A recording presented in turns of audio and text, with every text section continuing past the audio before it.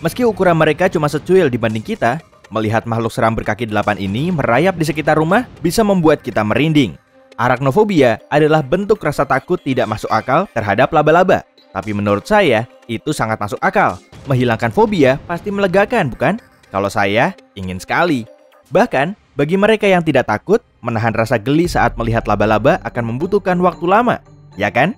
Ternyata tidak. Penelitian yang dilakukan para ilmuwan Israel membuahkan cara untuk mengurangi rasa takut terhadap laba-laba sebanyak 20% hanya dalam 7 detik. Haha, kedengarannya sulit. Kita semua tahu pahlawan komik Marvel, Spider-Man bukan? Dia bisa melakukan apa pun yang bisa laba-laba lakukan. Mulai dari memanjat dinding dan menembakkan jaring dari pergelangan tangannya, sampai berayun menggunakan jaring dan menjebak musuh di dalamnya. Spider-Man terus menjadi idola anak-anak dan kenangan berharga untuk diwariskan bagi orang dewasa. Jadi, apa hubungan Peter Parker dengan eksperimen yang saya sebutkan tadi? Para ilmuwan membagi peserta menjadi dua kelompok, kelompok kontrol dan kelompok intervensi. Kelompok intervensi terdiri dari mereka yang sangat takut laba-laba, sementara kelompok kontrol terdiri dari mereka yang tidak punya masalah dengan laba-laba.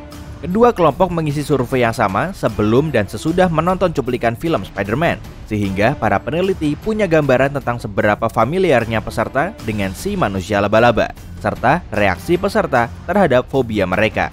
Kelompok kontrol hanya menonton cuplikan 7 detik pertama dari intro film yang penuh warna dan gambar khas Marvel.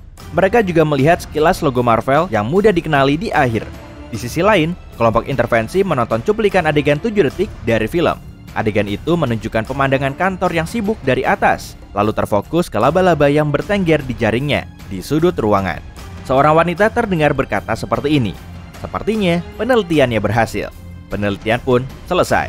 Bagaimana bisa cuplikan 7 detik yang singkat ini mengurangi rasa takut laba-laba di kelompok intervensi dengan persentase yang lumayan besar? Ini ada hubungannya dengan metode yang disebut terapi paparan. Sederhananya, terapi ini memaksa seseorang untuk menghadapi sumber rasa takut.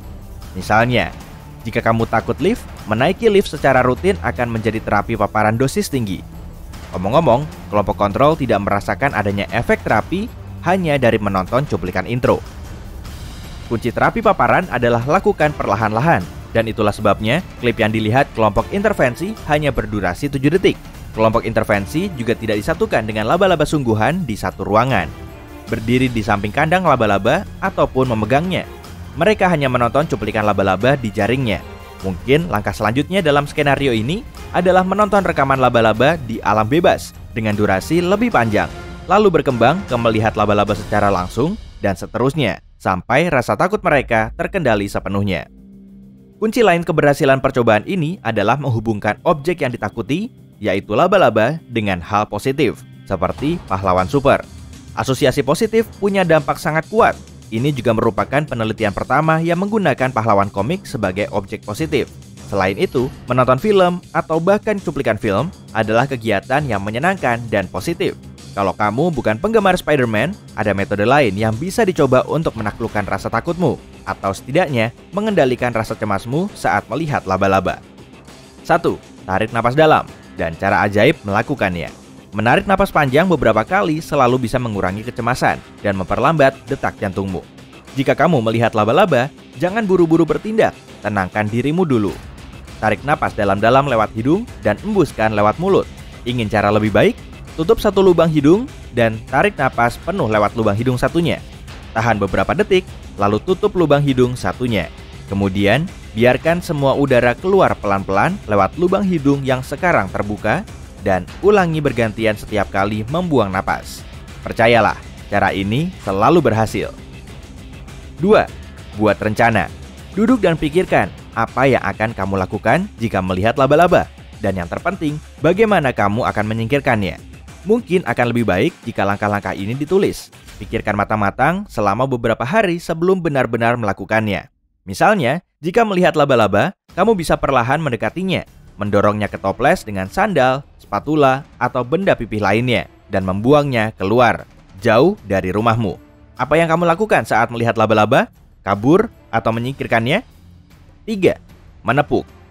Ini adalah metode untuk menghilangkan kecemasan, yaitu dengan menepuk titik-titik tertentu di tubuhmu, seperti dahi atau pelipis, sambil membicarakan dan menjelaskan rasa takutmu dengan keras. Lalu, lanjutkan penjelasanmu dengan kalimat positif dan tegas yang akan membuatmu percaya diri dan kuat. Seperti, saya cukup kuat untuk menghadapi laba-laba itu. Ubahlah titik-titik tubuh yang ditepuk selama latihan. Kamu bisa menemukan banyak video tentang relaksasi ini di internet. Meski terbilang baru, cara ini cukup ampuh. 4. Bakar rumahmu. Itulah yang akan saya lakukan kalau melihat laba-laba. Tidak, saya bercanda. Tapi pemikiran ekstrim seperti itu sangat lucu. Jadi, maksud saya, cobalah untuk menemukan sisi lucu dari ketakutanmu terhadap laba-laba. Bayangkanlah skenario lucu di kepalamu. Ajukan pertanyaan konyol ke dirimu sendiri, seperti apakah laba-laba pulang ke rumah untuk menemui istri dan anak-anaknya, lalu berkata, ayah berhasil menakut-nakuti manusia lagi. Jika bisa menertawakannya, rasa takutmu bisa berkurang. Atau setidaknya, kecemasanmu hilang. 5. Cegah rumahmu dari laba-laba. Jika kamu tidak sanggup membayangkan harus mengusir laba-laba dari dekat sendirian, cobalah cegah laba-laba masuk ke rumahmu. Ada banyak semprotan laba-laba di toko, dan ada juga cara alami serta bebas bahan kimia untuk mencegahnya. Minyak kayu putih, lavendel, dan minyak tree sangat ampuh untuk mengusir laba-laba. Semprotkanlah beberapa tetes di sudut rumahmu. Kamu juga bisa menaruh sejumlah lavendel atau kayu manis di sudut ruangan, meja, atau di mana pun kamu melihat laba-laba. Mereka tidak suka baunya. 6. Semprotkan cuka. Jika kamu tahu di rumahmu ada laba-laba, buatlah semprotan alami pembasmi laba-laba ini. Campurkan satu mangkuk cuka putih dan dua mangkuk air hangat ke botol semprot. Kocok dan semprotkan di area tempat kamu melihat laba-laba dan juga di titik masuknya, seperti di sekitar pintu dan jendela. Laba-laba itu dijamin tidak kembali.